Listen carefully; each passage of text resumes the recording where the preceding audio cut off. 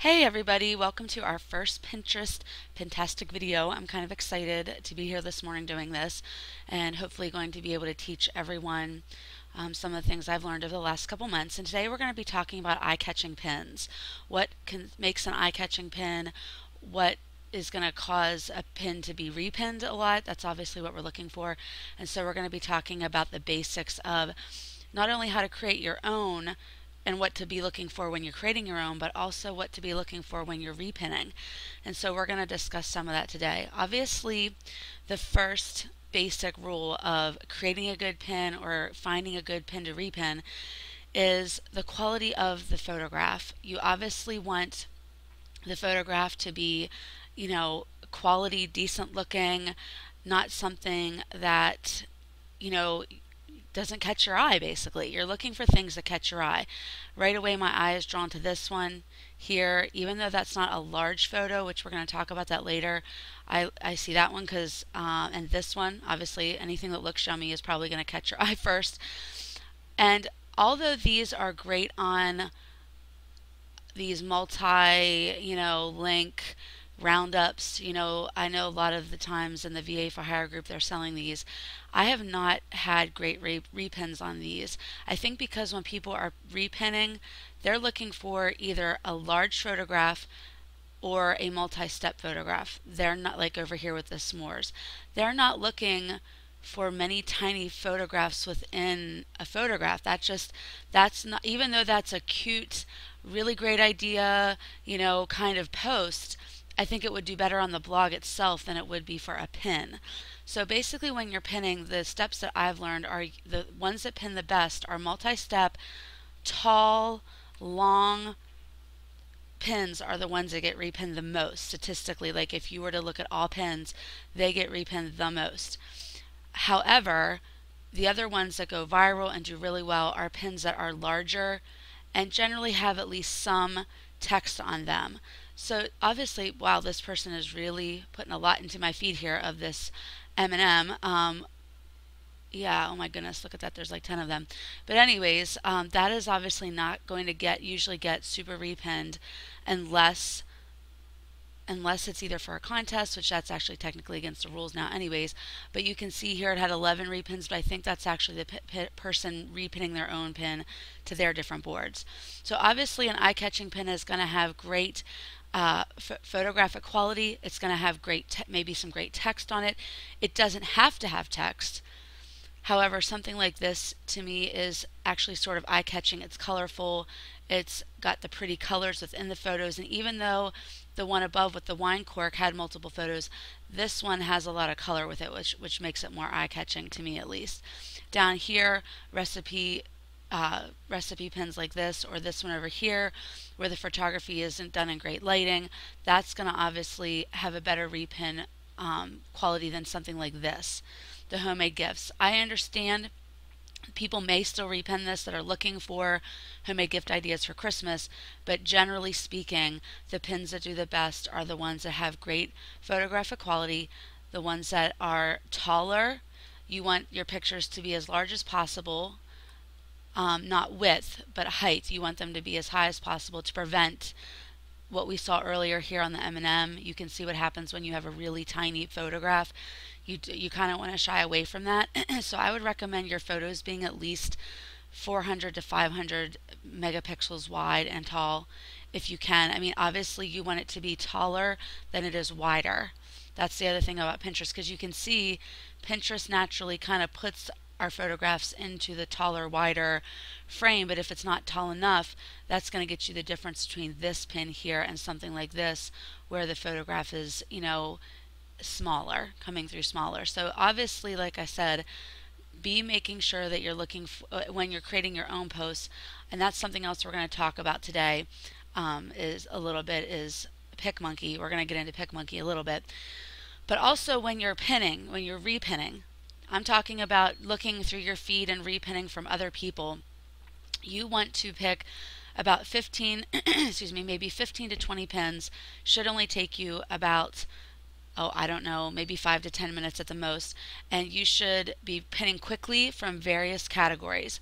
So I'm going to quickly scan through here and show you what I do every morning or at least once a day, I go through and I'm like, okay, this is really, people love the do it yourself. I'm going to do the multi step s'mores. I'm actually going to do that on the cakes, dessert, and candy board. Let me pin that real quick. I like this photographic quality, the burger. Okay, so we'll do this on my food addict. The picture looks great. So I have a recipes board that I'm going to pin that to. I'm going to quickly come down. I have about a bajillion cupcakes, so I'm not going to actually pin that. Even though that's a great pin, I'm not going to do it because I have so many already. The Rosette Christmas Tree Craft, I'm torn on that. I probably would not put that in my own house. I like the colors on this. Do it yourself for Christmas Christmas Jar Village. That's actually kind of cute. All right, we'll put that on the on the Christmas board.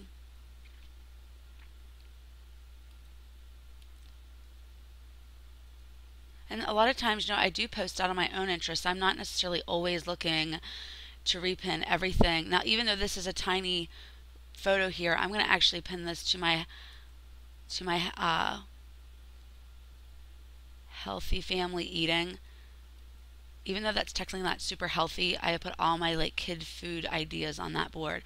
So what I was saying earlier is just because I don't always pin something just because I think it's going to get repin. Sometimes I do it because you know I just like the, I like the photo. So you know, but I do about 15 or 20 of these. Okay, Christmas croutons recipe. Hmm, that's cute. Do I really think that I'm going to ever make those, or most people would go to the extent to make Christmas shaped croutons? Probably not. So I'm going to skip that.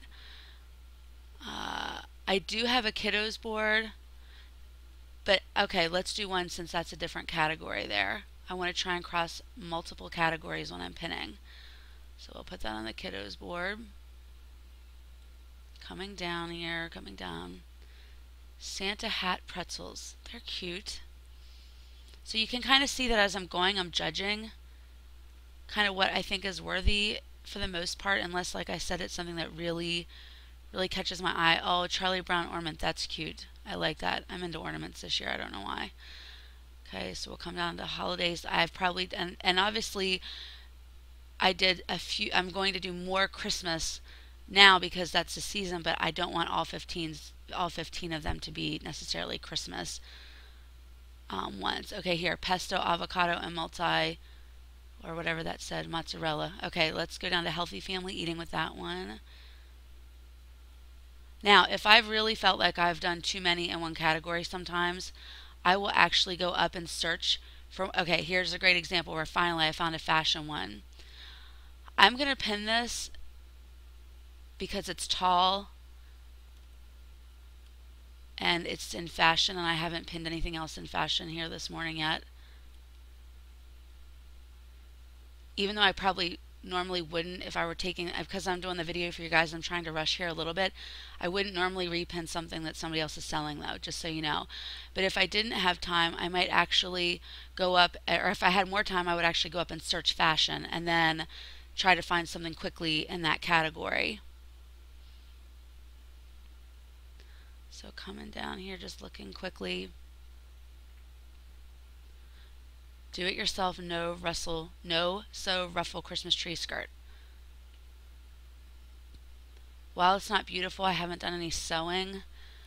so I'm going to come down to my sewing one and try to cross. Okay, so I've probably done maybe 10. So I get on maybe once or twice a day and do this every day just to kind of go across multiple boards. Um, I try to do it quickly. I don't like to do more than 10 or, like I said, 10 or 15 at a time. I don't want to don't want to clog their boards either. And that's why, you know, it really shouldn't take you that long once you've got your board set up to pin every day. So I'm going to take you through my boards a little bit, try to show you what I've done to make them as creative as possible. Obviously, I went through it does take time. Right now, if you're just starting to really get into the pinning 15 or 20 a day, just get your boards up and start pinning. Those of you that might have, let's say, under 500 followers, just get your board set up, get your titles on there. Don't just start repinning. Don't take the time just yet maybe to organize all your boards and find great colorful colorful color covers for them. Sorry, I can't talk today. I guess after teaching all week, my mouth's like, I'm done. Okay, but anyway, so what you want to do is if you have already, you know, if you've already got your boards up and running, you probably want to have maybe between at least 40 to 100 boards. You don't want to go too far over 100. I will tell you when you get to have 15,000, you know, 14,000 followers, you know, whatever you, or 13, whatever, you know, above the 10 mark, you do end up getting many boards because, you know, you've been pinning, like right now I have over 3,000 pins. So sometimes, you know, I've had to re recreate a category because like for example something that interested me was trifle desserts. I got a trifle bowl last year. I love doing trifle desserts for holidays to take with family. So i had to create i wanted that board to be separate not part of cakes desserts and candies or part of my recipes because i quickly want to be able to go and find my trifle desserts you know and i created several group boards.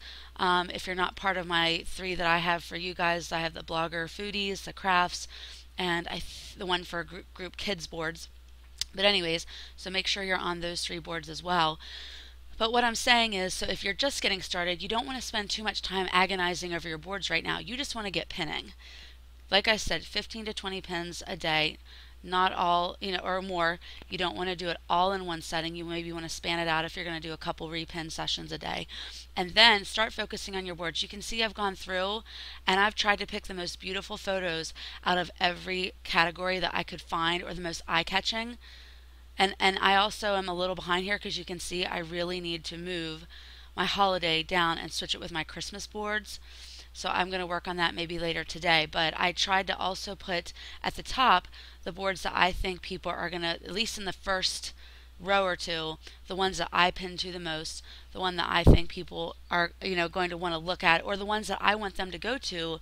You know, like I put freebies at the top because I'm generally posting my own content there.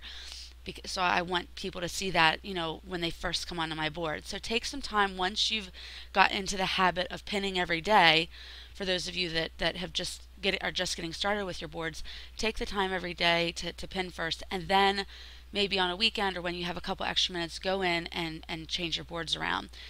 I actually wanted to do something fun and different with my board titles. I put I wanted them to be, you know, I don't know, just to stand out a little bit. And I saw another blogger or pinner had done this and I loved it, but they just kind of put periods in between each word, you know, fun times crafty even though it does make it harder for me to sometimes find it because I'm like, I'm not looking for crafts, I'm looking for fun times.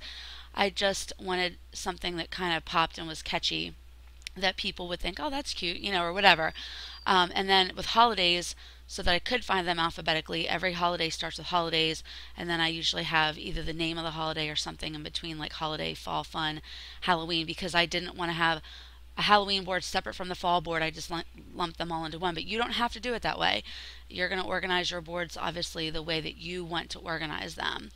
So, um, so let's walk away here from Pinterest for a few minutes and let's just go to PicMonkey. I'm going to start with PicMonkey. I'll be learning some things with you. I my grandfather's a professional photographer. He's going to be hopefully teaching me more about Adobe Photoshop here in the upcoming weeks. So I want to do eventually um, some th- something with that, but it's very expensive, and so I generally shy away. I you know we're frugal bloggers for the most part, so at least I am. So I tend to stay away from things that cost me a ton of money to maintain every month, and so I use PicMonkey because I, and I am upgraded to the eight dollar. It's like seven ninety five a month, so it's eight dollars a month where I get the different um, fonts and things, but. Uh, one thing that I love about it is that you can use it for free, and it's great, even even for free. So I'm going to just kind of open something here in PicMonkey and we're just going to briefly um, talk about it. I want to just use a blank box here to get started. So you open up a edit a photo like I just showed you. I'm just going to do a blank box here. Normally I would have a picture, but just to play around, you know, obviously you have the crop that you can crop it to whatever size you want. You can resize it, obviously, you know, um, and this is actually how I work with all my photos that I use on my blog from my, my Canon Rebel. I upload them to here because the megapixels are so high, WordPress won't allow me to directly put them into my post. I actually have to edit them and resize them before I can even post them because they're usually in the thousands. So that's why I'm just so used to pick my. It's just quick, it's free. It, the photos turn out great. Um, you can mess with color, sharpen, but again, this obviously is not the. Uh, if you are an avid photography person, probably Photoshop is going to be, you know, your thing then because you can do extensive editing with that. Where with something like this, you know, there have been some times where, for example, I did a review post a couple weeks ago about my new Shark sweeper. From when I went to BlogHer, I just got this new Shark sweeper, and I wanted it. I took a picture of um, the the the sweeper in my ki- old kitchen, which is like my laundry room, and the actual it was beside the vent that comes up from the basement with the heat and the and the paint had completely started wearing off. There were little black spots all over the bottom where the paint had worn off. It looked terrible in the picture and I wanted to completely blur that out and I couldn't in PicMonkey because they don't have like that complete blur or erase feature or that you can get sometimes with other editing software. So please know that while this is awesome for most everyday blogging, if you're going to get super technical, it's it's you're going to want something a little bit more more in depth. So I know you can't see all the tools on the side here, but that first one brings up the crop.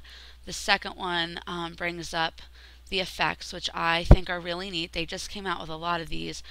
The upgrade ones are the ones with the little king's crown on them, just so you know, but all the ones that don't have the crown you can use anytime. So, you know, you're going to be doing effects with different things. Um, hang on one second. Me come down here. And most of you I know already use PicMonkey, so I at least wanted to, to do this for those that don't. I guess I have to actually have a picture on there. So let me come back to that. Okay, um, you can do touch-ups if you have pictures of people's faces. I don't use this a whole lot because in blogging we don't often take, we're not doing, you know, photographs of people at the most part, but the text is really what I'm looking for most of the time. And I kind of have my favorites. I need to branch out a little bit more, but you know, there are a couple that I like to use a lot of times. And you know, this is where you can watermark your photos or just at least put your logo on for copyright. You know, and so you can resize, you can center. You know, here's a center button. You can change it and you can bold it, you can italicize it, whatever. Let me make that a little bit bigger. Okay, and something else that you might do is you might need a color match. So if you have something let me change the color here to red or pink. And then I want to do something else. You can actually pull the color. Let me move this over here so you can see. If I click on this, or a picture, usually there's a little raindropper up here, and if you click on it, and then click on your new thing that you want to actually color, it will, you know what, let me go ahead and just grab a photo. Hang on. I think it's going to be easier to show you with a photo. So let's go back to that shark. I'll show you my embarrassing kitchen photo. Okay. Alright, so we'll take the old photo. No comments, please. I know that looks hideous. so, so let's say I want my text to be orange, like this shark, if you're trying to color match. I'm going to come over here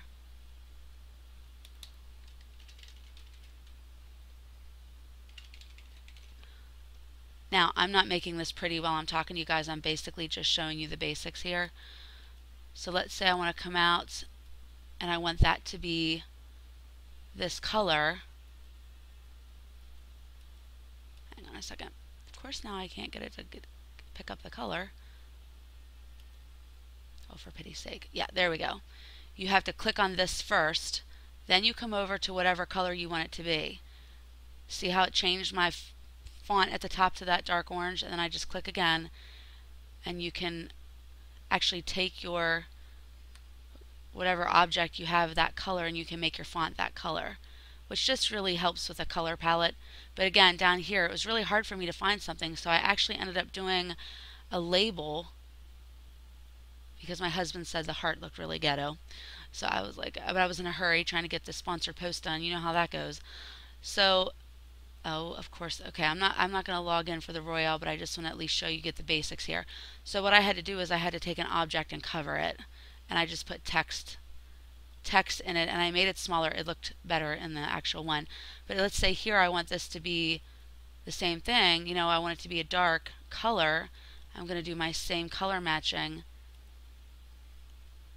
And this is where it really, for something like this, I might need, I would usually probably have to go into Photoshop and then I want to add text and make it pop so I'm just going to make it white.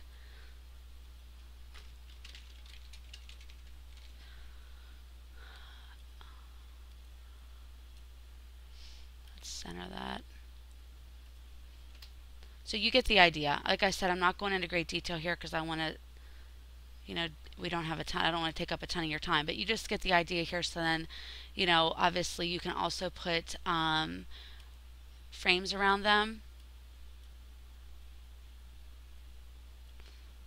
Okay, you can do other effects. You can do putting backgrounds on textures. Hang on a second.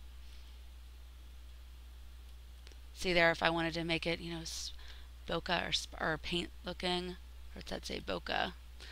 Okay, so there, you know, obviously you can just play around, mess around if you want to make a brick background. See, look, that's, that would actually be really cute for a lot of photos. I need to try that one out. Okay, but moving down here, now they have some new themes where you can go in and you can grab, you know, all kinds of like frosty hat and eyes, you know, different things like that.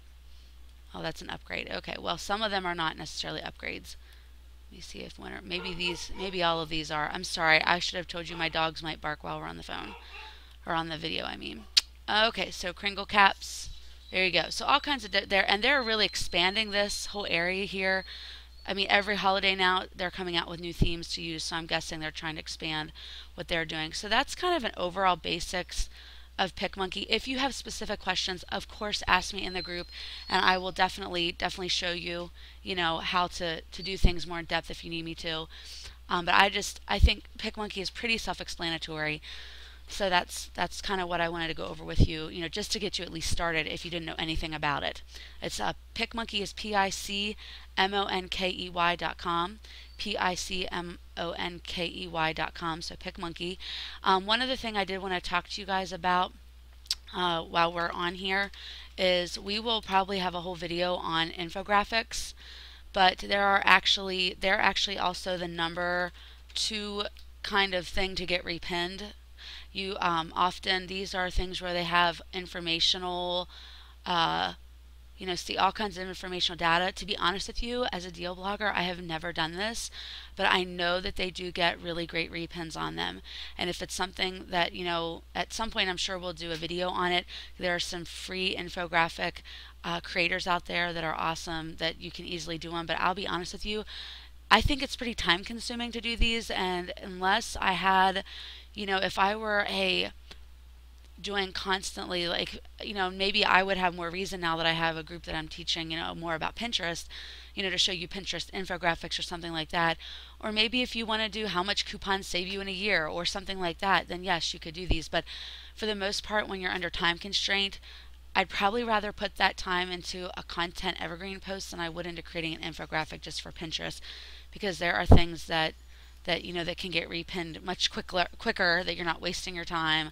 Um, but again like I said I do want you to know that they are heavily repinned as well. They are very very much popular. So um, the other thing that I wanted to do was I wanted to show you my most pin one of my most pin pins ever I actually was at school one day and the kindergarten teacher or first grade teacher's daughter works at Michael's and I've pinned this to many many many different boards and it's been pinned I don't even know how many times. I would have to go I'd ha- I don't actually analyze my I don't actually look at my analytics as much as probably what I should because most days I'm too busy trying to repin to get followers. So I don't um, I should probably do that a little bit more and we'll I'll work on that now that we're doing the group. I'll probably be checking my own analytics better, but this is one of my most repinned pins aside from my Kindle freebie list that I do every day. That's my other one that gets repinned a lot because it's free. So, all right, well, we've been on the, the video here for about 24 minutes. This is just to get everybody started,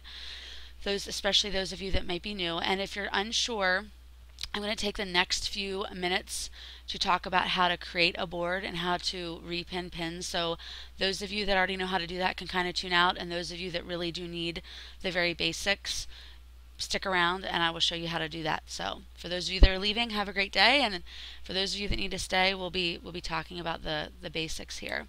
So moving on. If you're going to, once you've created your Pinterest profile, also what, one thing if you're newer, you need to know is up here is where all your updates are. This is where if people have invited you to a group board, I have not done this Let's Pack Lunch forever. I just let it there. I, I should decline it, but I want to leave it there as an example for you guys. You would accept it and this is all also where it shows you where people have either commented or repinned your pin or, you know, this this is like your status, this is like your activity update for Facebook only on Pinterest right here. So basically you want to go to your boards, which is where I'm at. Or wait, no, I'm sorry, I'm in my pins. You want to go to your boards. And if you're going to create a board, you're going to come over here and create a board or holiday wish list. Right now I'm just doing a board. For example, I might do a Pintastic group. You can actually make a board secret if you don't want anybody to see it. So I'll probably set that to secret because I don't want that showing up. But normally you would choose a category. So for me, it's going to be education because I'm going to be teaching it with that board. Um, I'm going to be being pins to benefit Pintastic group on there. You would want to describe it, put an SEO friendly description in here normally. Like, so for example, if it's about crafts or Hol uh, holidays, you would want to put the exact holiday. You know, crafts, do it yourself. You want to be very specific here with your words. And right now I'm not adding a map. We'll get into that in another another lesson. So then I would click on create board. And when I create that board, it's not going to have, I'm not sure if I can have a fourth secret board. Oh, I guess I can. Okay. So what you're going to do now is you can just start pinning to that board. It will show up as you're pinning in your list. So I'm going to go back to just now. Obviously, I'm. This is not something I would put in the Pintastic group, but for the sake of time here, I would scroll down.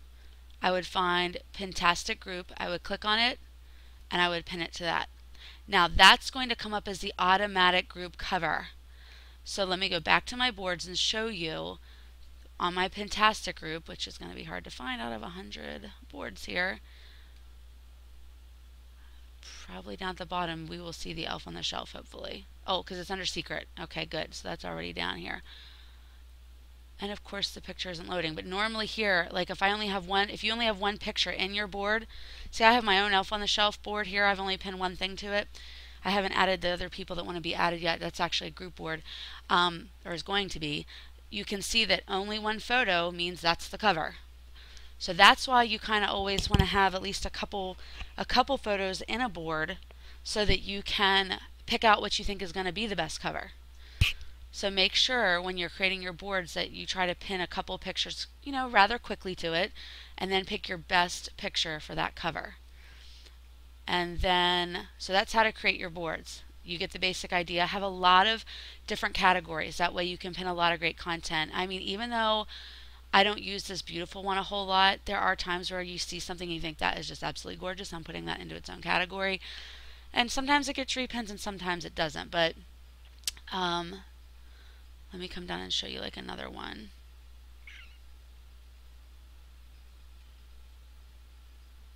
Okay, so here's my winter fun. Luckily, I have a great picture already on that cover, but normally you wouldn't want to, you would want to have a couple pins in that board to pick your best one. So let's go up to pins. How to add a pin. There's a there's several different ways. You come up here to the plus sign or you can come over here to add a pin. If you're going to add it from a website, you just click the URL. So let me grab let me grab one from my page here. And very quickly I need to post my next status update here if you don't mind real quick. Sorry, we're going to take a 10 second break in there. Okay, now we're going to come back just for the sake of time. Where did that go? There it is. And you're just going to put the URL right in here. And you're going to click next and it's going to bring up all the photos not only in that post but also that are on your main page. Now obviously I don't want to necessarily pin target but for the sake of time we're going to do that. And you're going to pick your group whatever, and then you're going to want to write a description about it, and then you're going to click pin it. And you can select down here, do you want it to post to Twitter or Facebook? I generally, sometimes I post to Twitter, but I don't generally post my pins to Facebook. That would clog my feed, and our reach is already bad enough as it is, you know, with all the changes in Facebook this week. So those are some of the basics of pinning. Also, um, let me think, there was one more thing I wanted to show you. What was it? Oh, so when you're pinning, you just go to Pinterest at the top here, and this is your feed. So obviously these are the things you can repin from other people. If you want to upload your own pins, that's when we do these other things. And when you upload a pin here, I forgot to tell you, this is where you just want an image from your computer, not a link to a website. I don't use that very often unless Pinterest is acting really wonky. I'll upload the photo. If it won't if it won't like upload my URL, I will go in and add the photo and then put the link in the comments. That's not best practice. I only do that when face, when Pinterest is really not working. And there have been some times where I've definitely had to do that. So so at least today we taught you how to um, create a board. Um, when you're organizing your boards, uh, also we taught you how to add pins. But let me go back to your boards. To organize your boards, changing the cover, you click here. If you just want to move it, which I'm going to move, you just click and drag it. Sometimes Facebook gets really wonky with that and it drives me nuts. Um, it'll move itself all around. Let me find my holiday Christmas board. I'm going to try to move that to the top. See, this is, I'm even behind on that. I got to get down here because there are six less days between Christmas and Thanksgiving this year, and I think it's just caught us all off guard. I haven't had a chance to do all that, but mine says holidays Christmas, and obviously I did not pick the best cover for it if I can't find it. So let me see here. I want to move that back up to the top. Unless I already have it up here. Holidays Easter. Mm, that's weird. Well, I'll look for that. I don't want to waste your time looking for it, but I'll find it. And I'll at least move this Christmas one up. Oh, maybe I changed it just to Christmas, but I need to go back in and make that holidays Christmas then. But yeah, so that's what you how that's as how easy it is to maneuver your boards around. You just basically have to click and drag them from one area to the other. So I could technically move all of these. It does tend to group all your group boards at the bottom, and the way you can tell it's a group board is by this little symbol of a group of people right here. But then, see then down here it throws in some of my other ones, so I don't know why it does that. But it often will clump your group words in a big group. It makes sure you know that then some of your other ones are still down here. Here we go. Oh, I did pick a good cover. How did I miss that? You guys probably saw that and were like, right there it is. So this is it can be cumbersome. See what I mean? If you don't get really careful, it's like, oh my gosh. All right, so we're going to keep moving that up. I tend to just stop every few rows. So you want you want the top row to be current and relevant to people coming to your your board, your main follow page. All right, so there. I'm going to put the two Christmas ones right there at the very front so that when people come to my boards, they're seeing the Christmas ones at the top. So, so those are the basics of creating boards, creating pins, group boards. Um, one other thing I'll show you in here is how to create your own group board. You can take any board and invite other people to it. You just go down here and say who can pin, and then you invite them. As soon as you invite somebody and they accept, it becomes a group board. So um, also, you can delete your board from here, but it says, you know, you can't undo this, so be careful. But that's basically all you do is when you want to add somebody to a group board, you just come in here and invite them either typing in their, let's see if I can find Steph. Okay, there. So you can type their username to start typing it in, or you can invite them by email. If you click invite, hang on one second. I don't know if my own will come up or not, but usually you can invite by email as well for a couple weeks I could not get the email invite to work and P- Pinterest on their you know had listed that they knew that they had that issue and and people were aware of it but it lasted several weeks so so anyways and you can see even here I need to go in and put SEO friendly um, SEO friendly things in here so I might say um, coupons frugal coupon deal deals sweepstakes contests and more. I separated them by commas. If you want to write a sentence, you can, but I, I prefer to do the, the commas. This would probably be, hmm. I hate to put in other. A lot of times if I can't find one, I do education because you're like teaching people how to save money in a way. So we'll put it there, I guess. Even though it's really, let me look again. Illustrations, home decor, humor. All right, why don't we just go with other then? So that's, you know, you're going to want to make sure that your boards have things that are linked to them. or have SEO descriptions in them. I'm sorry. Also, one other thing that I recommend doing is on my boards, if you do a lot of reviews, which I do, and I'm still in the process of getting them to pinned to pin uh, to be pinned. You can actually have a, a like okay here I also have for my YouTube videos debtfreespending.com TV. I also have a review board. I think it's it's called products. So that's another place that you can kind of put that if a brand wants to market with you, you can show them, hey, I even have a Pinterest board you know, for all the products and reviews that I'm doing. I should probably put that at the top of my board so that, or close to the top so it's seen. So see, I'm, we're all learning together every day. So if you have any questions beyond these, please just put them in the group. We're at 35 minutes. I don't want to drag this on for you forever, but hopefully this gives you some ideas of at least how to get started. But make sure you're pinning 15 to 20 quality eye-catching posts every day, and that's going to be your number one way to start growing. All right, hope you guys have a great day. Bye-bye.